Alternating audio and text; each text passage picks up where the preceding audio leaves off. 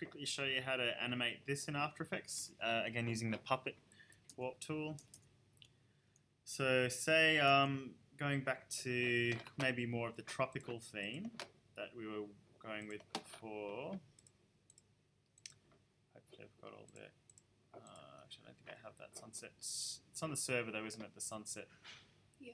kind of thing. So rather than importing it off the server, I'll just bring it in to my local computer. Okay.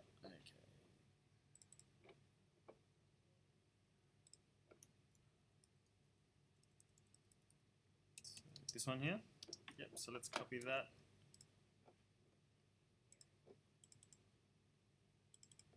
Okay, so um, it just kind of suits the the vibe of that a bit better.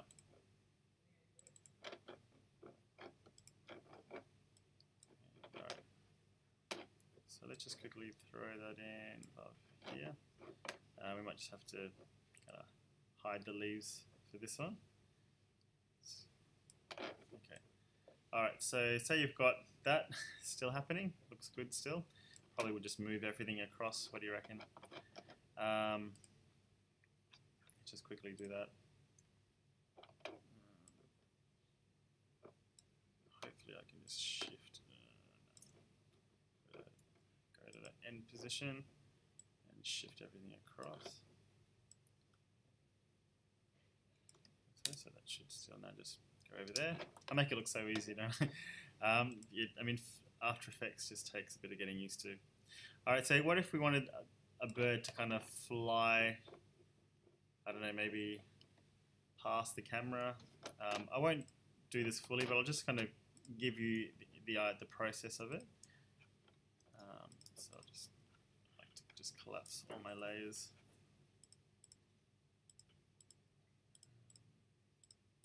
Okay, so let's import. Uh, so again, I've got to just um, go into Photoshop to prepare this.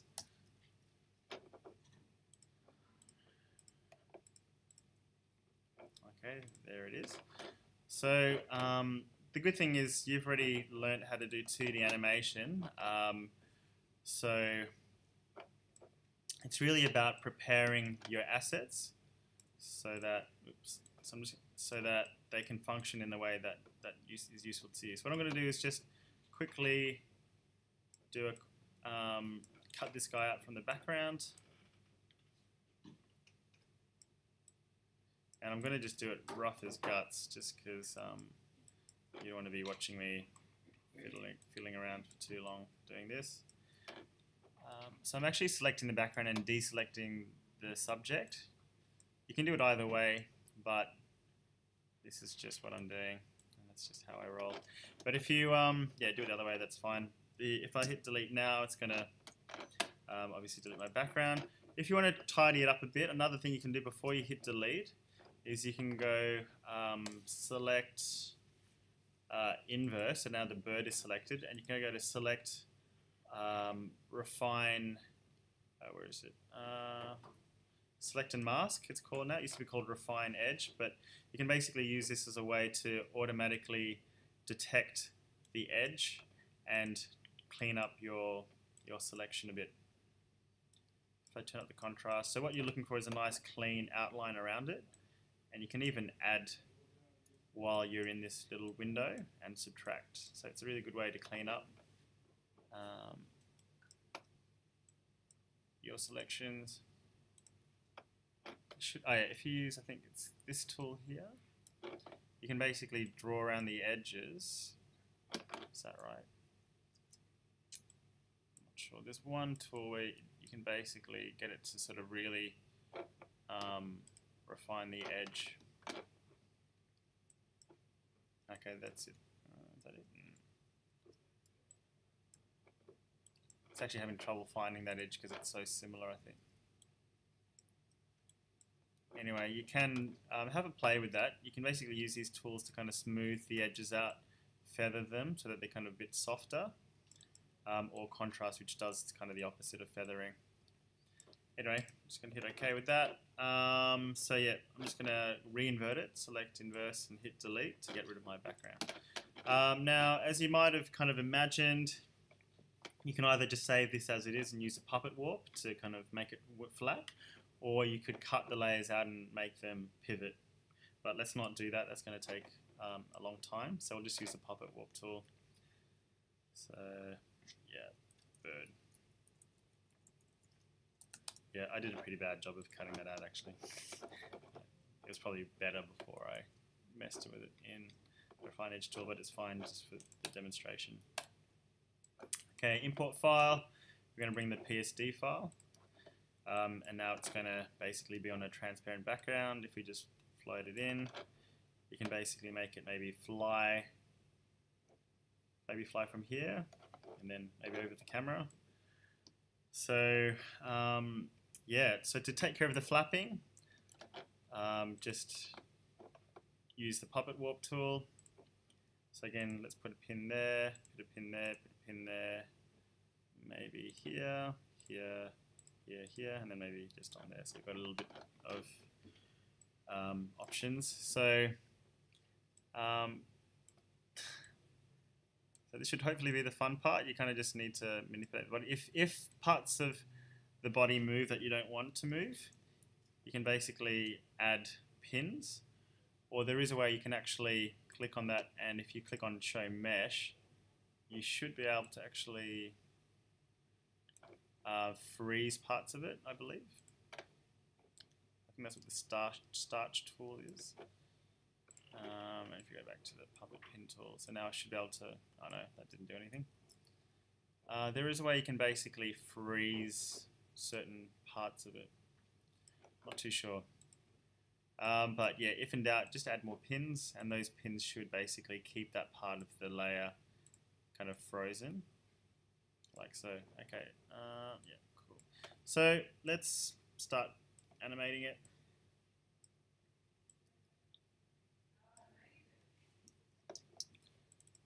Okay, so basically up there. I probably should have worked backwards with this, but anyway. Maybe let's do that actually. Let's start from the beginning. And then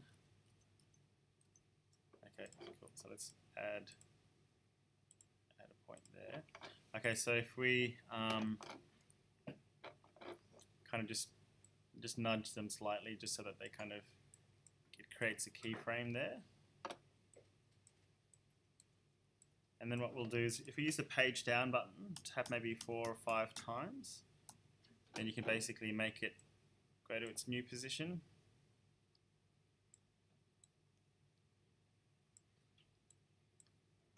And how picky you have to be kind of really depends on how big the bird is in frame. So if you kind of want to save yourself a bit of work, just don't make it so big in frame.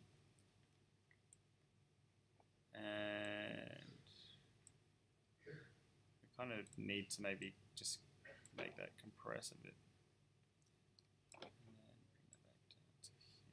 Cool. All right, so what we can do is just basically just test one movement. What do you think? Does that look okay? And then you don't have to keep doing that over and over. You just basically use the these keyframes to, um, and then you copy and paste them. Okay, so I'm gonna just select those all, expand them out. Uh, just a little tip, if you hit the, the little um, apostrophe key next to the number one, it makes that full screen like that, and you can just gives you a bit more stuff to look at.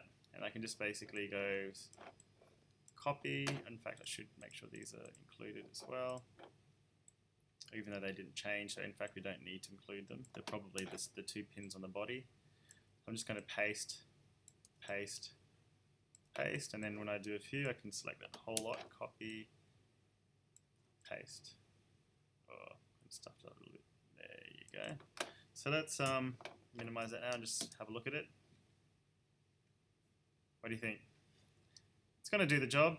It's not perfect. If you wanted to kind of finesse it more, you could basically change the keyframe interpolation to kind of make it go slow up and fast down, because that's really what it should be doing to, to stay in the air.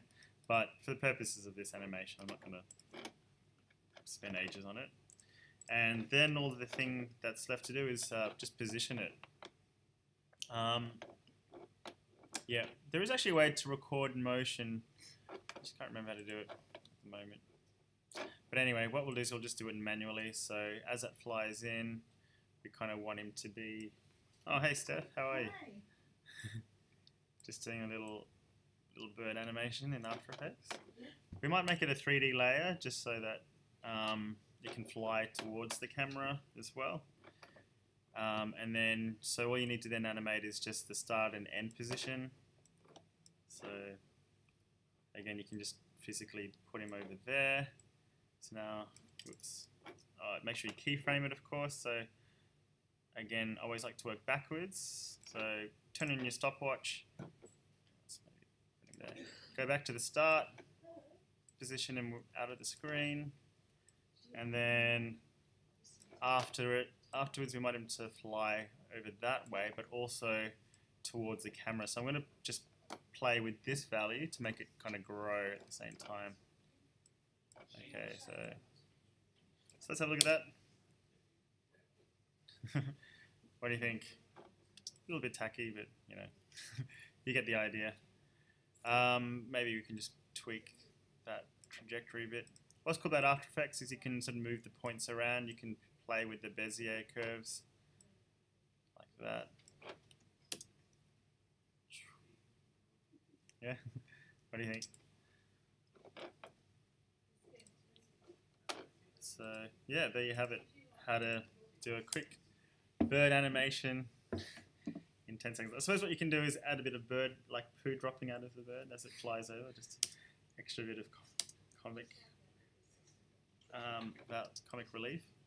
Probably what I'd also do is maybe put the bottle in front of the bird. Where's the bottle? So that it kind of looks looks a bit more three dimensional. Yeah. There you go. So it's all an illusion, but it, it's how you kind of put these things together.